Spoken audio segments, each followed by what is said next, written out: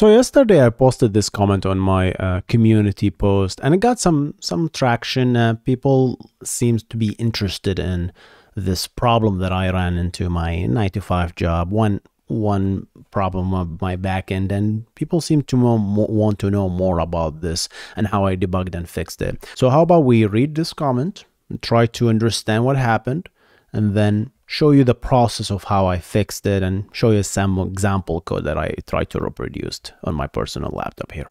So uh, I wrote, this new backend I built hangs after few requests. Turns out I was leaking database connections from the pool. So new requests were just stuck in the database pool queue waiting.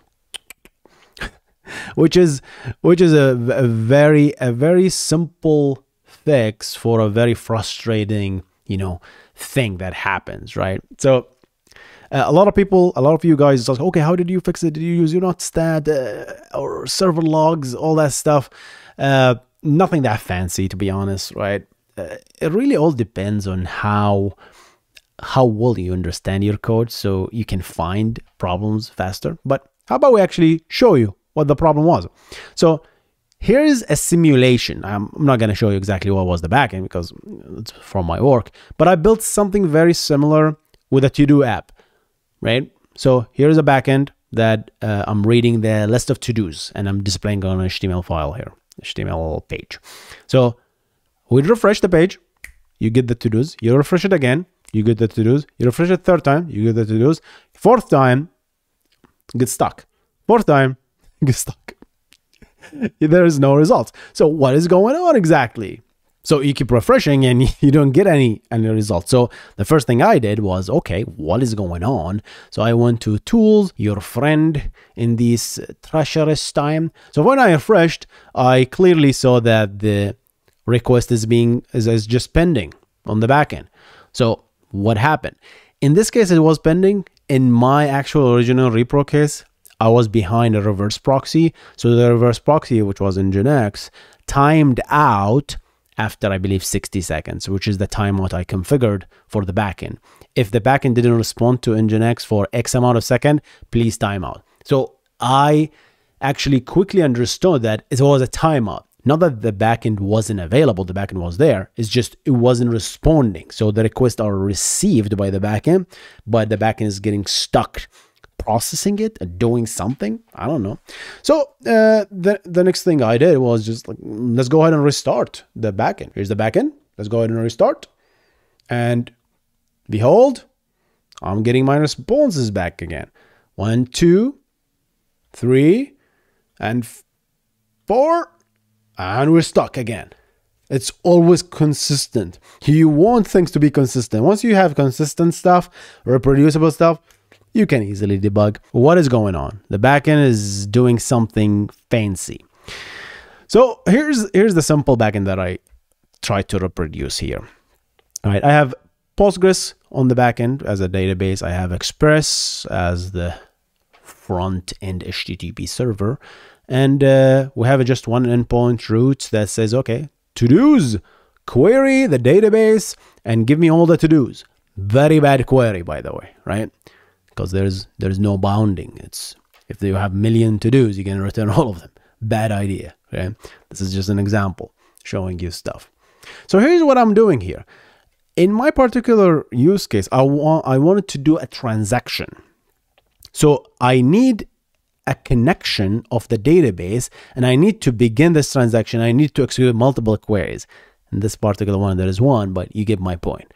And then I commit, and then Here's the thing this was the problem. This didn't exist before. I was just executing the query and then immediately returning.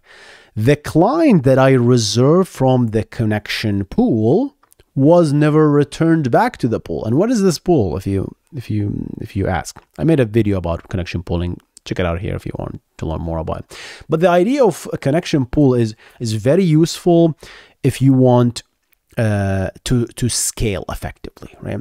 So you would you would create this idea of a pool, and this is nothing but a group of connections of database connections.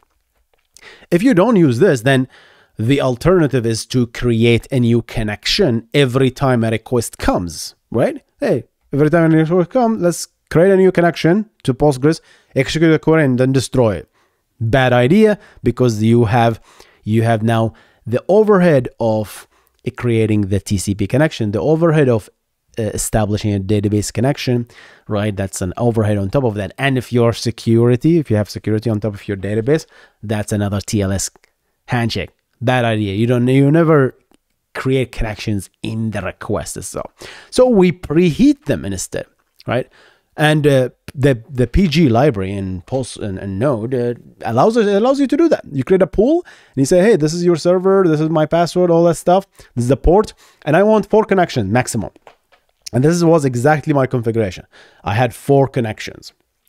So as a result, you cannot exceed four connections in parallel that are all in use in the pool.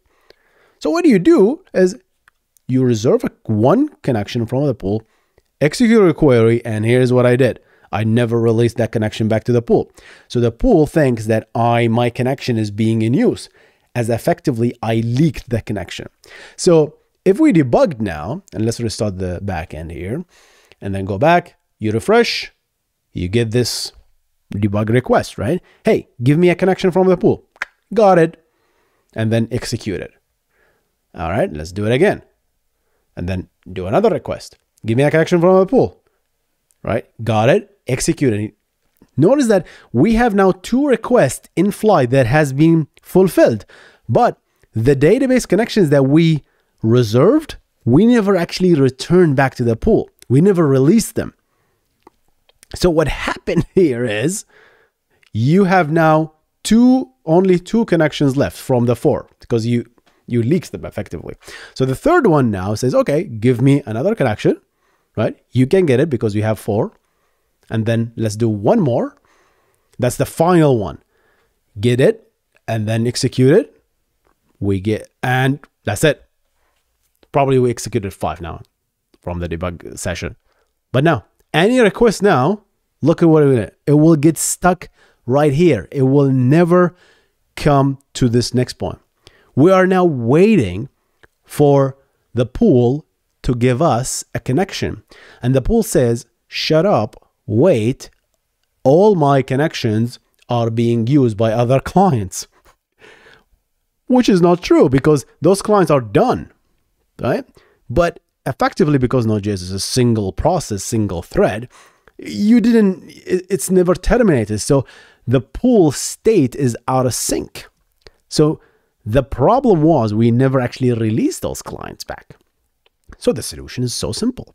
It's just you have to release those connection back to the pool whenever you're done with them. And uh, obviously I this line didn't exist in my code. And immediately when I saw the client connect up, I saw that, okay, that's the problem. Immediately I know it. I know that was the problem. So it didn't take me much more to to find out the problem. But uh, I'm not, and I'm not saying this because I'm, I'm a great engineer or anything like that. No, because I happen to have a maximum connection. If this was not set, right? If this I didn't, if I didn't set this, then the maximum will be, I believe, 20 by default. Then this would have existed in my back, and I wouldn't have never known. Another bad thing that I didn't do is I have not set a timeout uh, for waiting on a connection from the pool. There should be another timeout that I set. I forgot what it's called, but it's one of these properties. Does it does does this tell you? There you go. I love Node.js. Look at this. Connection string, database, idle timeout. Idle is very interesting. Idle is how long should the connection stay there idle before the pool kills it. There must be a wait. There's a query timeout, statement timeout. There's all bunch of timeouts here. It's probably connection timeout, right? So there's so much timeouts. I, I should have said these timeouts correctly so that when uh, when a leak like this happens in the future, uh, I will never get into this situation again. Uh, ideally, when you have single statement like this that you don't need atomic transactions for, then you can alternatively use pool dot query instead and then immediately do your select. What this does is it immediately uses the pool to pick a connection randomly and then execute the query and then return back the query immediately return back the connection back to the pool immediately. So that's that's one of the best way when you have like a single query like this right?